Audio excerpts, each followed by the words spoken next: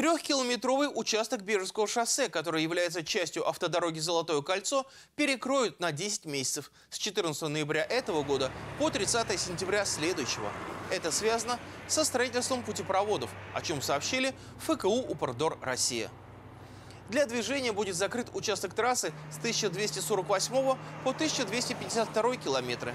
Там будут возводить путепровод для автомобильной развязки нового участка трассы М-11, являющегося северным обходом Твери. Объезд перекрытого участка будет проходить через деревню Пуково Калининского района и дорогу межмуниципального значения Змеево-Кушалина-Хохловка. Водители просят с пониманием отнестись к ситуации и заранее планировать свои маршруты.